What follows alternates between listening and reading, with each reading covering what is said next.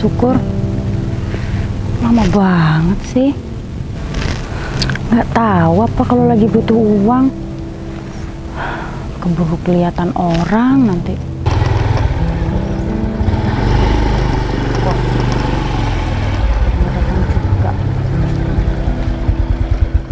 Lama banget sih mas. Aku ini lagi butuh banget uang loh mas. Ya Lama sabar lo. banget. Kamu emangnya butuh berapa? Aku nih butuh ini 2 juta. Aduh tapi kalau 2 juta kayaknya nggak ada loh deh. Nah terus kemarin kan kamu baru pinjem loh 3 juta. Masa kamu mau minta lagi siang? Gimana sih mas? Kan aku minta uangnya sama kamu, nggak minta dari koperasi kamu. Masa cuma minta 2 juta? Nggak ini, nggak dikasih. Kamu ini sayang nggak sih sama aku? Tahu gitu aku males nungguin kamu dari pagi. Minta nggak dikasih. Ya aku tuh sayang loh sama kamu.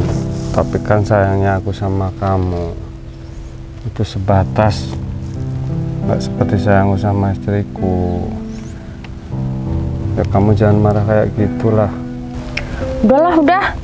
Kamu ada nggak sekarang 2 juta? Kalau nggak ada yaudah aku pulang aja. Kita nggak usah hubungan lagi. Lah gitu aja kok marah Sin, Sin. Kalau kamu marah, cakap kamu jadinya hilang. Aku cuma bercanda loh. Kalau cuma 2 juta, ya bakalan tak kasih. Juga kemarin yang utang kamu itu, yang nutup kan Mamas juga. Yaudah, mana sini uangnya? Ya sabar loh. Nah itu ada loh. Tapi ini kan uang koperasi loh, Dek. Ya aku nggak peduli lah itu mau uang koperasi atau apa. Kan aku mintanya sama kamu. Yang mana tadi yang 2 juta? Tapi jangan lupa jatah saya. Iya mas. Apa pun kemauan kamu aku turutin kok.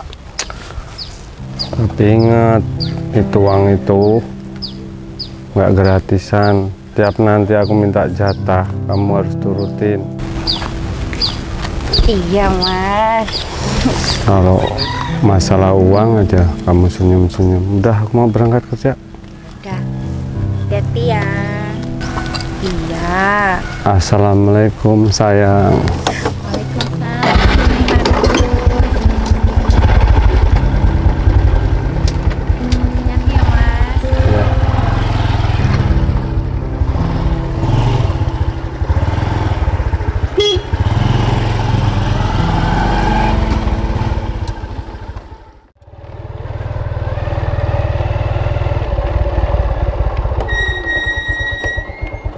Nah, ini kayaknya rumahnya ini. Kurang ajar itu. Dulu nipu saya. Bilangnya rumahnya ternyata rumah temennya. Wah. Assalamualaikum. Waalaikumsalam. Mas, Mas. Apa ini benar rumahnya Mbak Cindy? iya Pak, bener.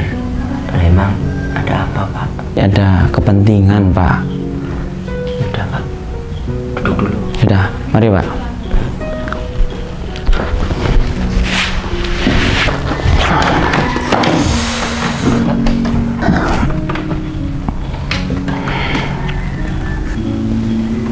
Emang ada kepentingan apa Mas sama istri saya?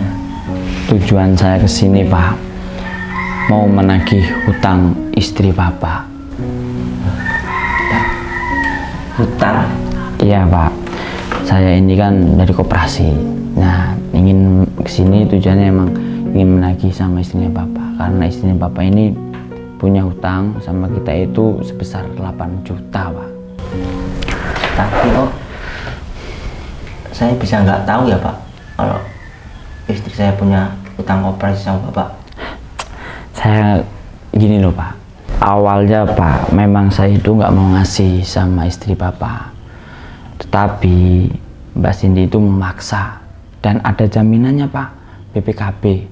Ya udah ya, ya gimana ya saya ya saya terpaksa mengasih pak ya di situ juga emang ada saksinya pak saya sama istrinya bapak itu bertransaksi di rumahnya Bu Wartia Aku nggak nyangka, Pak. Istri saya kok bisa setega ini ya sama saya. ya kalau masalah itu saya nggak mau tahu pak ini ada buktinya pak. Bahwasannya itu istrinya bapak sama sekali pak. Belum membayar sedikit pun. Nyicil aja belum pak.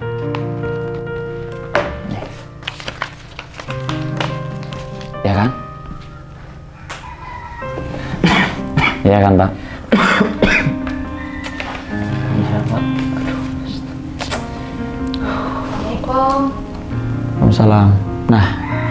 istri bapak. Duduk kamu sini, Sin.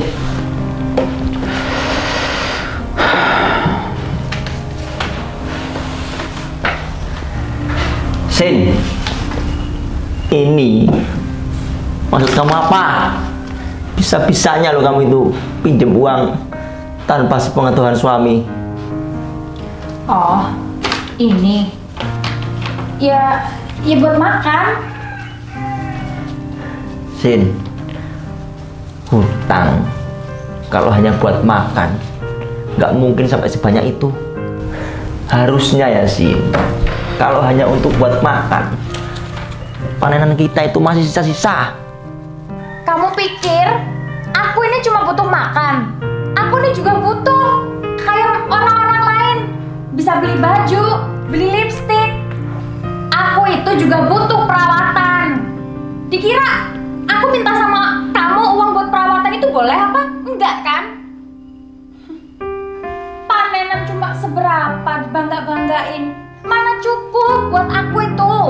Kamu itu nggak bisa bahagiain aku, Mus yang kamu bangga-banggain itu cuma warisan dari orang tua kamu. Emangnya cukup? Hah? Kamu pikir cukup? Enggak. Eh, udah, udah, udah, udah, mbak, mbak, mbak. Ini gimana? Ini malah rame di sini ya? Mbak, mbak kan punya utang sama saya. Mbak juga belum nyicil sama sekali, mbak. Perjanjian awal gimana coba? Hah? Iya mas, iya nanti. Ya udah sekarang mana uangnya, mbak? Saya itu dimarahin terus, mbak, sama atasan. Iya loh mas, iya. Nggak usah teriak-teriak. Cuma berapa sih? Nanti juga aku bayar kok. Apa, mbak? Wah, nggak seberapa, hah? 8 juta, mbak itu. Itu gaji saya buat tombok. Belum tentu cukup loh, mbak. Mbak kok malah ngentengin kayak gini sih? Ya udah, mbak. Sekarang gini aja. Mbak bisa bayar nggak hari ini? Hah? Iya, kalau buat sekarang ya ya belum. Ya udah, gini, gini, gini. Besok saya ke sini lagi, ya. Kalau mbaknya sama mamanya belum bisa bayar, terpaksa. Saya bawa motor yang BPKB-nya sama saya itu, mbak.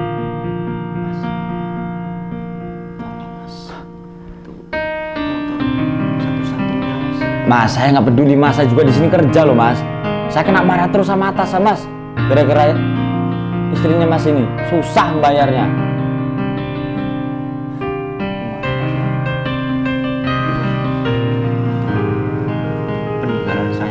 Ya gimana mas ya, ini saya kan udah kasih kelonggaran besok, ya kan?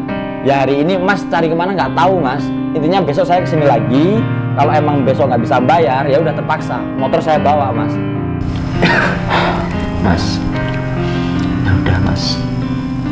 Pokoknya saya akan bertanggung jawab atas semua hutang-hutang istri saya, mas. Baik mas, Saya akan berusaha semaksimal mungkin untuk membayar semua hutang istri saya.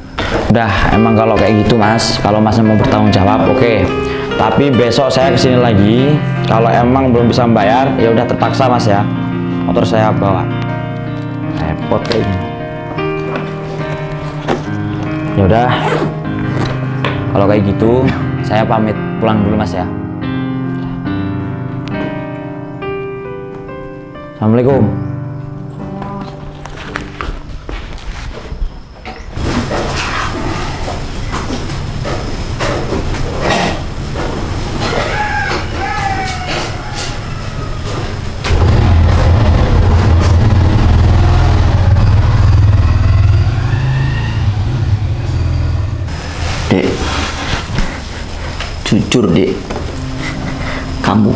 Bisa hutang sebanyak itu? Itu sebenarnya buat apa sih? Ya buat foya-foya lah. Emang selama ini kamu bisa ngasih aku kebahagiaan? Buat foya-foya? Enggak kan? Kamu kok malah poya-poya seperti itu? Kamu nggak lihat kondisi suami kamu? Kita tuh harusnya bersyukur loh. Masih bisa makan, tidak kekurangan. Ya kamu aja yang bersyukur. Kalau aku, aku nggak bakal bersyukur. Udah punya laki-laki buntung kayak kamu ini. Udah nggak bisa bahagiain aku. Bersyukurnya gimana aku ini? Dek, harusnya kamu tuh nggak bisa seperti itulah. Udah lama, nggak usah banyak ceramah. Untung-untungan aku ini masih mau ngurus kamu yang buntung kayak gini. Coba aja kalau kamu aku tinggalin.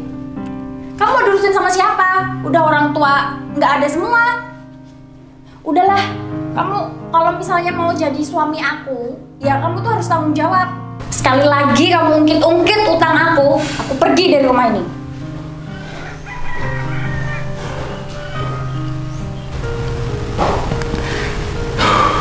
Ya Allah.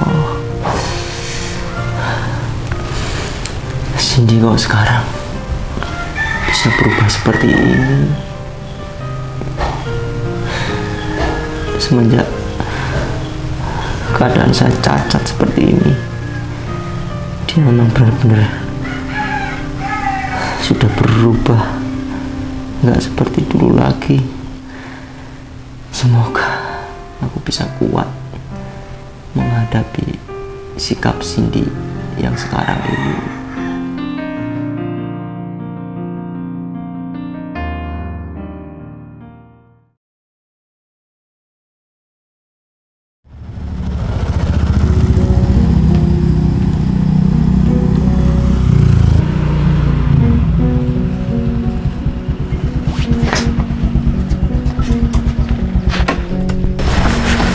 Siang, Pak. Yang Mas Habib. Gimana Mas? Ada, Pak.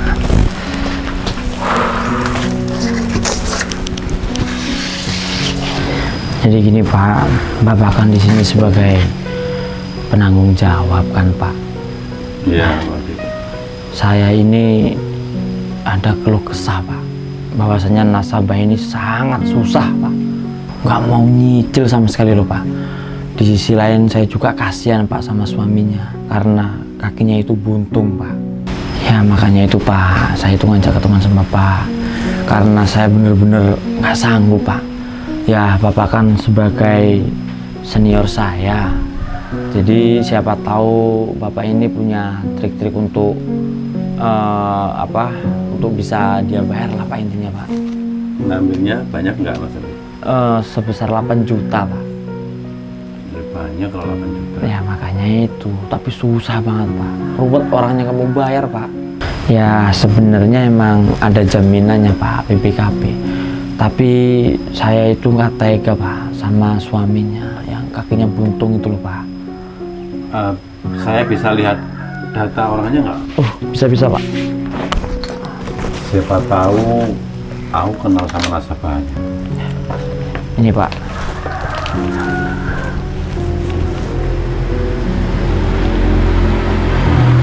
Toh, Bib? Iya Pak. Bapak kenal? Iya, ini nabasnya nasabahnya Mas Syukur lah. Kok ngambil sama Mas Syukur juga Pak? Kemarin aja saya itu habis negur sama si Mas Syukur. Dulu Mbak Cindy ini udah pernah ngambil, Iya Pak. tapi angsurannya sangat susah. Nah, anehnya si Syukur itu, Hmm. Dia di ngasih lagi Mbak Cindy ini.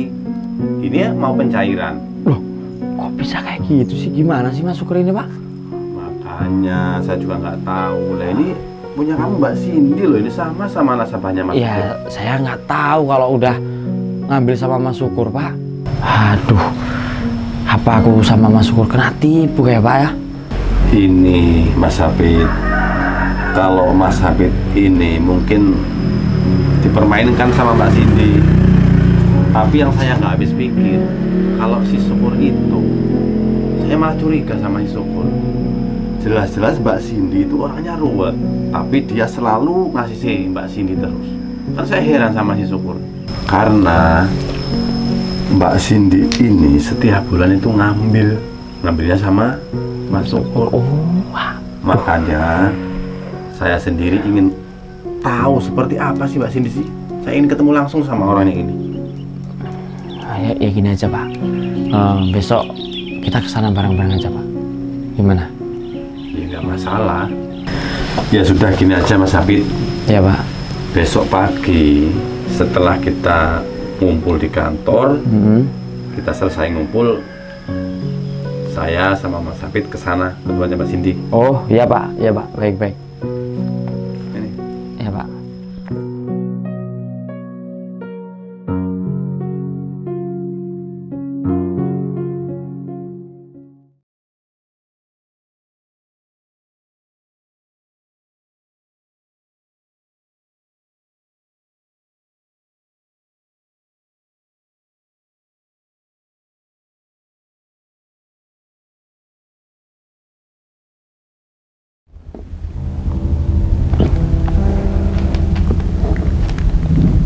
Mas. Iya, aku lagi di rumah. Ya nanti ke sini aja nggak apa-apa. Masalah suami aku gampang itu nanti. Nanti aku kabarin lagi ya.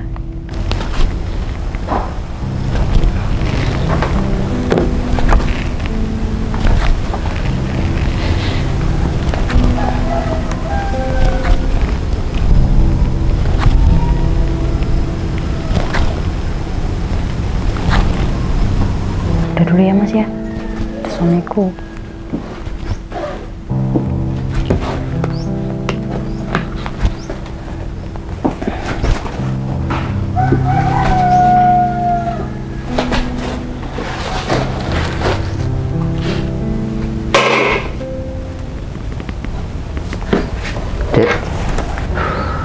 Aku mau ngomong penting, Dek. Mau ngomong apa sih, Mos?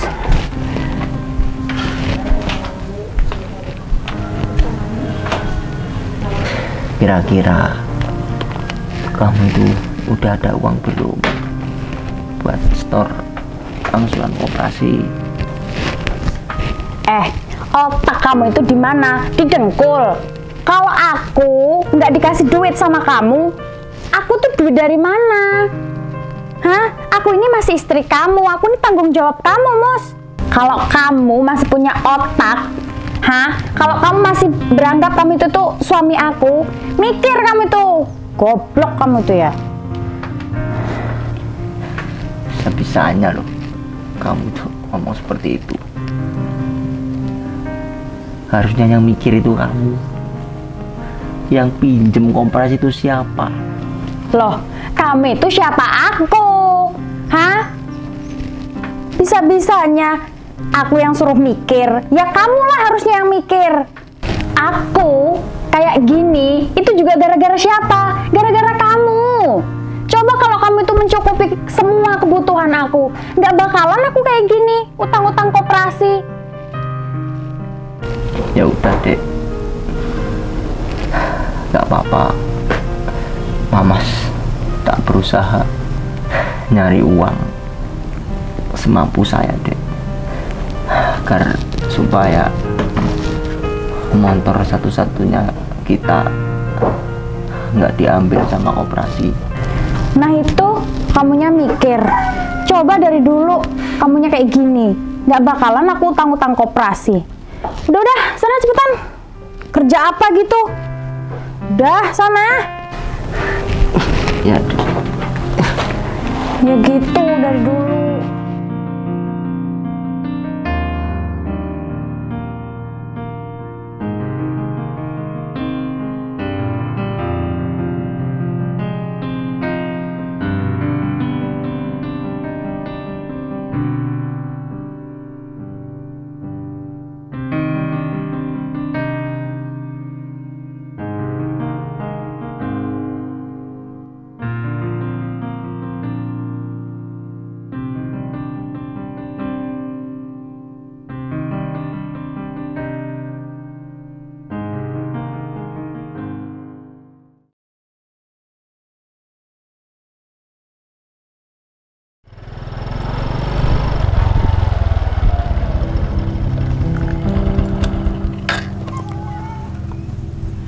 Enggak nih Cindy-nya nih.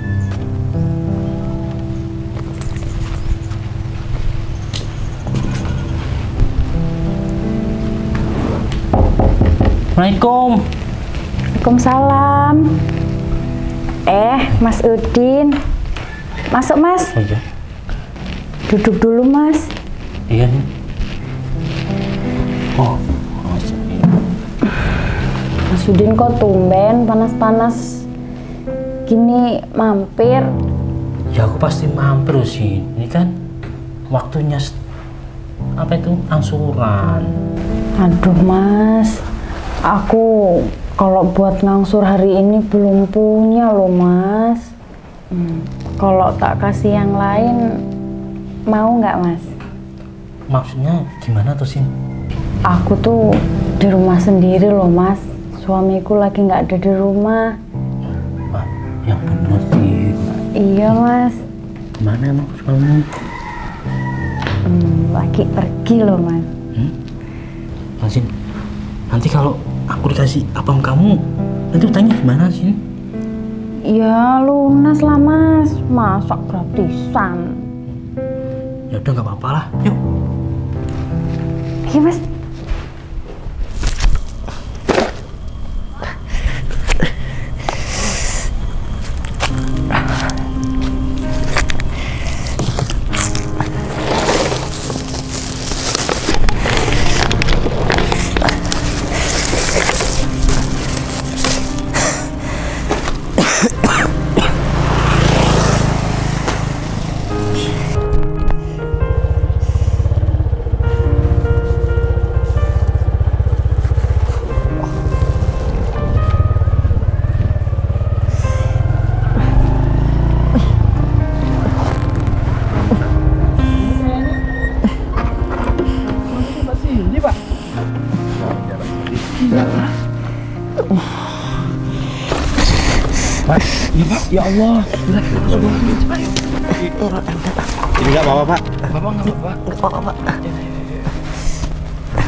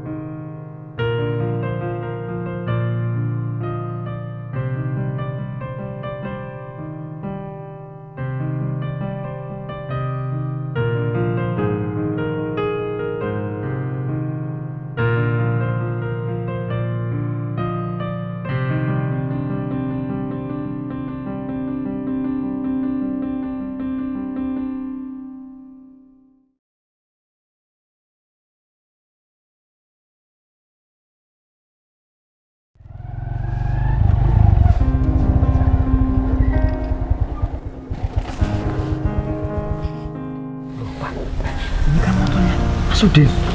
Hah? Iya ini si Udin. Ada masalah terulang lagi pak ya? Kamu omongnya kayak gitu sih? Ya siapa tahu kan pak. Ayo, Pak.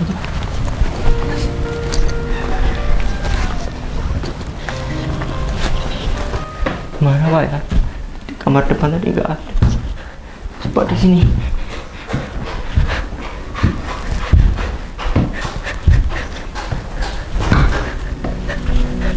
Sini. Sini. Buka sini. Sini. Loh, loh, loh. Weh, ngapain kamu sini? Astagfirullah. Ya Allah. Ternyata bener kamu, Din. Allah. Duduk. Sini. Keluar kamu sini. Binatang kalian. Ya Allah. Astagfirullah. Duduk, Mbak. Din. Ya pak. Kamu itu moralnya gimana, Din? Kamu itu seorang pegawai KUD, koperasi. Ini kan nasabah kamu, Den. Ini sudah punya suami, Den. Harusnya kamu mikir. Ya maaf pak, hilap. Hilap, hilap. Emang angsuran berapa sih? Kamu sampai kayak gitu sama Mbak ini? Din, kau diem angsuran berapa? Hutangnya berapa Mbak Sindi ini? Pinjamnya pak satu juta pak. Tapi dia nggak bisa ngangsur. Dia kan kasih apa ya? Saya terpaksa mau lah pak. Kamu itu nggak punya akal kamu, Din. Kamu bisa jelek-jelekin nama koperasi kalau begitu, Din. Dan kamu Mbak Cindy, kamu itu kan sudah punya suami. Kamu itu kalau butuh duit, kalau cuma untuk makan itu minta sama suami atau enggak kamu kerja sendiri. Bukan minjem-minjem kamu kasih kehormatannya sampean. Pokoknya saya nggak terima pak. Dan kamu Cindy, pokoknya saya nggak mau tahu. Mulai detik ini juga kamu angkat kaki dari rumah saya Mas, ampun mas, dan kamu ampun. dan mulai hari ini juga kamu saya ceraikan. Ampun mas, Kamu bukan istri saya lagi, Sin. aku bersalah mas, ampun mas. Din, Ya pak. kamu itu tidak satu atau dua kali berbuat seperti ini, Din. Pokoknya hari ini kamu harus bertanggung jawab. Kalau pegawai koperasi seperti kamu semua, kamu akan jelek-jelekin perusahaan, Din. Dan perlu kamu ingat, Din, kalau cuma mengandalkan nafsu, nafsu itu nggak pernah selesai sampai hari kiamat. Paham kamu? Dan ini Pak Mus, saya selaku dari karyawan perusahaan mohon maaf atas kelakuan si Udin ini jadi si Udin ini biar kami proses secara hukum Pak Mus Iya, Pak. Saya maafin, Pak. Tapi tolong, Pak. Seret kedua binatang ini keluar, Pak, dari rumah saya, Pak. Tolong, Pak. Keluar kalian. iya Pak Pak, Pak.